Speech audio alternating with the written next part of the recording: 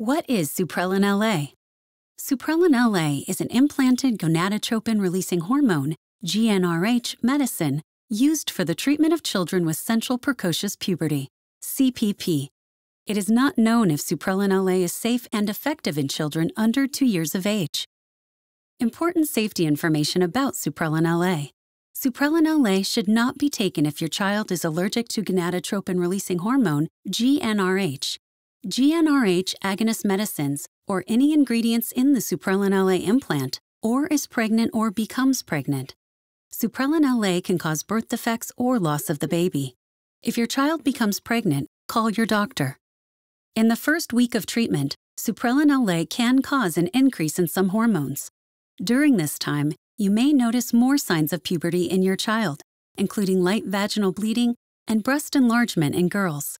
Within four weeks of treatment, you should see signs in your child that puberty is stopping. Some people have had implant breakage during the removal process. Some people who had Supprelin LA placed in their arm have had the implant come through the skin, extrusion. Call your child's doctor right away if the Supprelin LA implant comes through the skin. Some people taking GnRH agonists like Supprelin LA have had new or worsening mental, psychiatric problems, including depression. Mental, psychiatric problems may include emotional symptoms such as crying, irritability, restlessness, impatience, anger, and acting aggressive. Before your child receives Supprelin LA, tell the doctor if they have a history of mental problems.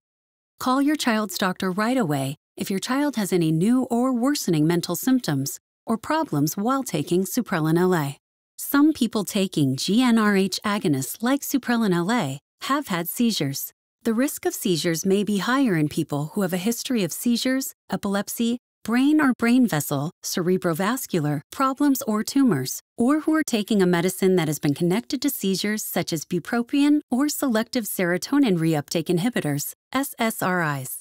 Seizures have also happened in people who have not had any of these problems. Before your child receives Supprelin LA, tell the doctor if they have a history of these problems, as well as all the medicines they take.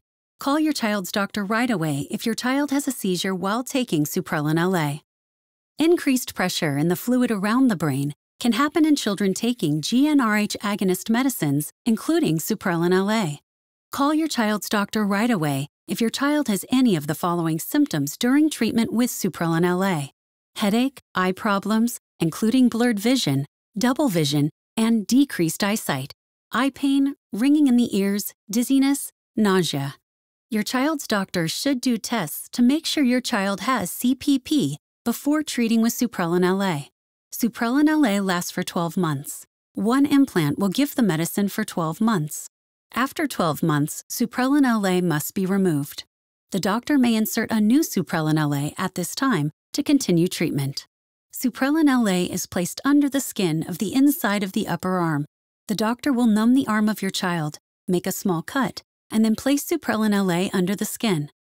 The cut may be closed with stitches or surgical strips and covered with a pressure bandage.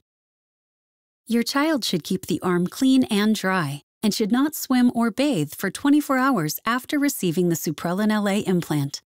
The bandage can be removed after 24 hours. Do not remove any surgical strips. They will fall off on their own in a few days.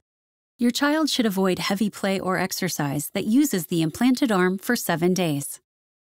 You and your child should routinely check the insertion site until the cut is healed. After the cut has healed, your child can go back to his or her normal activities. The doctor will give you complete instructions. Keep all scheduled visits to the doctor. Your child's doctor will do regular exams and blood tests to check for signs of puberty. Sometimes the doctor will have to do special tests, such as ultrasound or MRI, if the Supprelin LA implant is difficult to find under your child's skin. The most common side effects of Supprelin LA are skin reactions at the place where the implant is inserted. These reactions may include pain, redness, bruising, soreness, and swelling in and around the implant site. Call your child's doctor if your child has bleeding, redness, or severe pain where the implant was inserted. You are encouraged to report negative side effects of prescription drugs to the FDA. Visit MedWatch or call 1 800 FDA 1088. Please see full prescribing information, including medication guide.